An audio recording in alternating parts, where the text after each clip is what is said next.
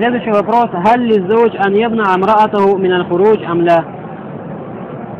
Имеет ли право муж запретить своей жене выходить из дома на коллективные намазы или не имеет такого права? То есть то, что она обязана спрашивать разрешение, это понятно. Но если она разрешение спросила, может ли муж запретить или не может? Фиха каулян. В этом вопросе два мнения. Аль первое мнение, анну ля яджуз лаху мана. То, что этого делать не разрешается. То есть муж не имеет права запретить жене выходить на намазы в мечеть. И это мнение Умара ибн Хаттаба, а также его сына Абдулла ибн Умара. И это мнение придерживался Абдулла ибн Мубарак, имам Малик, Вагайр Вахид, а также множество других ученых. Остане второе мнение Анна Мана, то, что он имеет право запретить ей. И это мнение передается от имама Шафии, и его придерживался Аль-Кады Абу Яля из Ханбалитов. قال Абу Абдилля, говорит шейх Малхизам, аль-каулю аль-ауаль хуа саваб. Первое мнение является правильным. То, что муж не имеет права запрещать жене выходить на коллективные намазы. Валя ямбари ан фатихи бада каули наби саллаллаху алейхи вассалям. И не надлежит в этом вопросе разногласить после того, как сказал пророк, саллаллаху алейхи вассалям, «Иза ста'занат ахадукум раатаху иляль маджид, фаля ямна'ха». Если жена одного из вас попросила разрешения выйти в мечеть, то пусть он не запрещает ей. Сам пророк, саллаллаху сказал, «Фаля ямна'ха». Пусть он ей не запрещает. Это хадис у Бухари и Муслима со слов Ибн Умара.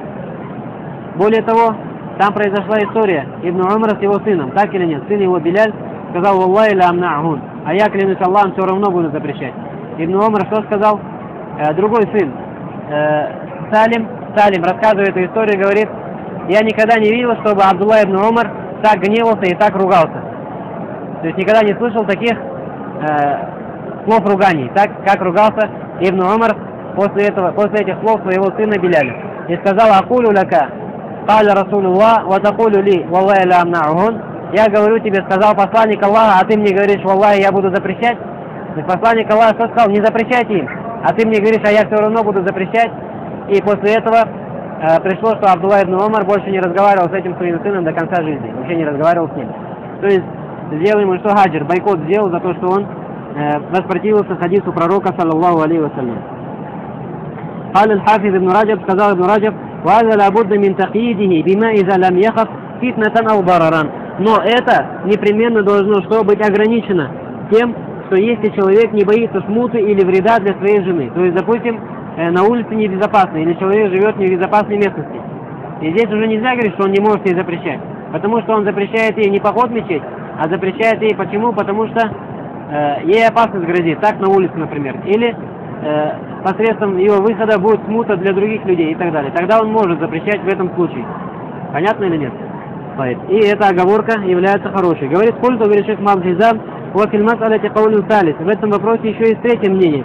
Уоль Карага а это то, что нежелательно мужу запрещать жене выходить на намаз. Хадаби и Балдур Ханабель. Этого мнения придерживались некоторые ханбалиты. Танбих говорит примечание, «Иза хараджит мар айля мазджид, فيجب عليها أن تخرج غير متطيبة. Если женщина вышла в мечеть, то она обязана выходить в мечеть, э, что غير متطيبة, так что нет на ней благовоний валя музгира зината, и так, что она не показывает на улице своих красот. Ликаулихи саллаллаху алейhi вассалям, потому что пророк саллаллаху алейhi вассалям сказал, валякин лияхруджна тафилят, но вы должны выходить так, чтобы от вас не шло приятного запаха. Как я знаю слово тафилят, если я не ошибаюсь, это женщина, от которой не исходит приятного запаха. Ахраджава Абу Дауд. Этот хадис приводит Абу Дауд со слов Абу Хурейры. И этот хадис э, в книге Ас-Сахи Аль-Муснат. Вовли Каули, саллаллаху алейхи и потому что пророк, саллаллаху алейхи сказал, «Иза шахидат ихдаху кунна аль-иша аль-ахира», если одна из вас приходит на ночной намаз, «Салята мусса тыбан», э, то пусть она не наносит на себя благовоний. Этот хадис приводит имам Муслим со слов Зейнаб Аслахатия. Значит, муж не должен запрещать жене выходить на намаз, на коллективные намазы, кроме как если от ее выхода есть вред ей самой или есть смута для людей. Тогда может запрещать и должен запретить. В этом случае должен запретить. Если женщина выходит из дома, то при своем выходе она должна э, что соблюдать все нормы шариата, как дол должным образом покрываться, не наносить на себя благовоний и тому подобное.